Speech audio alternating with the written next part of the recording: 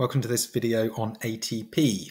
So ATP is an RNA nucleotide derivative. That means it is essentially an RNA nucleotide, but it's been modified in some way.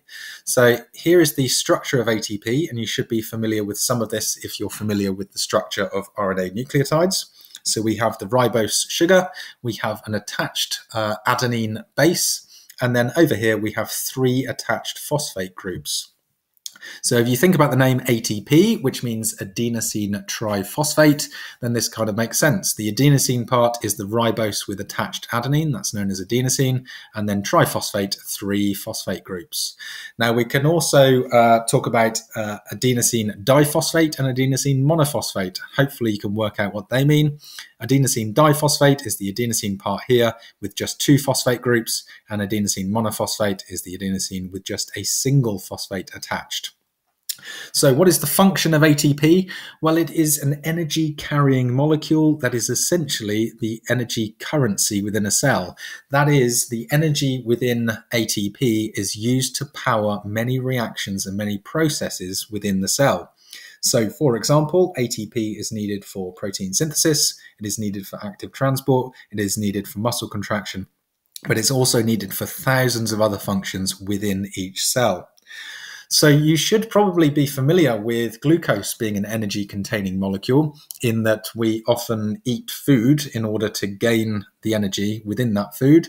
And in most cases, that energy is found within glucose. And when we respire the glucose, we release the energy. Well, actually, that energy that's released from glucose is not used immediately by the cell. Instead, it is contained within molecules of ATP.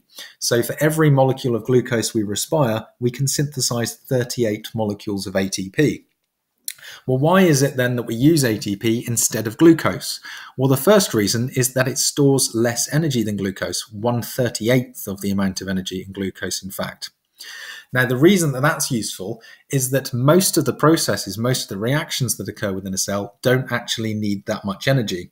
And the amount of energy stored within ATP is just about right. Whereas the energy stored in glucose would be far too much. So the fact that it stores less energy than glucose is useful and more efficient.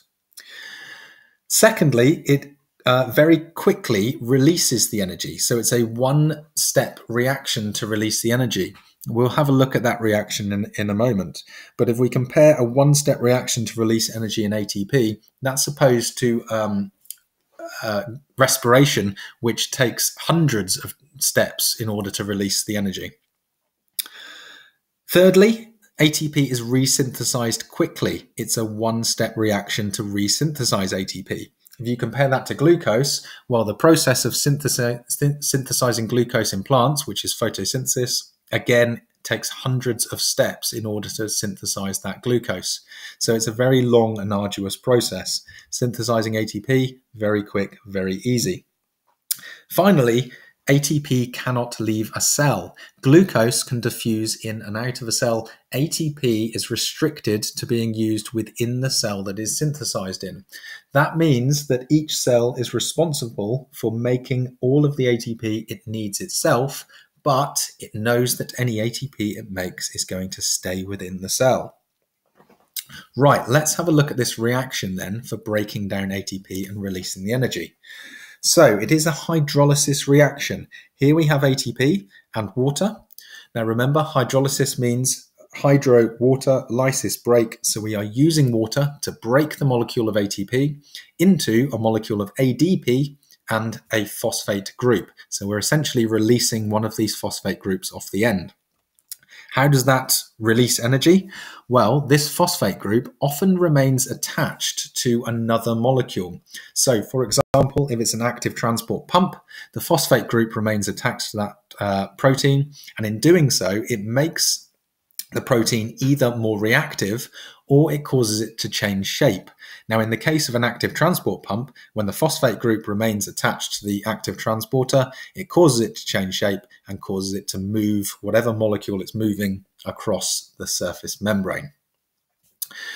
So we have a simple one-step reaction for releasing the energy, and equally, if we reverse this reaction, so we have a condensation reaction, so we um, attach the phosphate group to the ADP molecule. That causes ATP to form and also water, a condensation reaction. So a simple one-step reaction to resynthesize it. Now, the process of breaking down ATP to release energy occurs all over a cell all the time, but the process of resynthesizing ATP, well, that can only occur during respiration or during photosynthesis. The process of breaking down the ATP requires an enzyme. The enzyme is known as ATP hydrolase, so effectively hydrolysis of ATP. ATP hydrolase can be found all over a cell and is often forming part uh, of other molecules within the cell. So, for example, an active transport pump will have ATP hydrolase activity. On the other hand, to resynthesize ATP, we've got the inventive, uh, inventively named ATP synthase enzyme is required. So ATP synthase will cause ADP to react with PI, and that will produce ATP plus H2O. So it's ATP hydrolase to break down ATP and ATP synthase to resynthesize it. So we can summarize all of that in this diagram here. Here we have ATP. We have a hydrolysis reaction using ATP hydrolase to break down ADP into AD, uh, ATP into ADP and PI. The PI often attaching to another molecule to make it reactive or change shape. And then we can resynthesize our ATP during uh, respiration or photosynthesis. That's going to be a condensation reaction. It's going to require ATP synthase and it is going to release water. Here are the key terms from this topic. Write these down now if you wish. Lots more resources on my website, pxsbiology.com. And if you found this video useful, then please remember to like, subscribe, and share.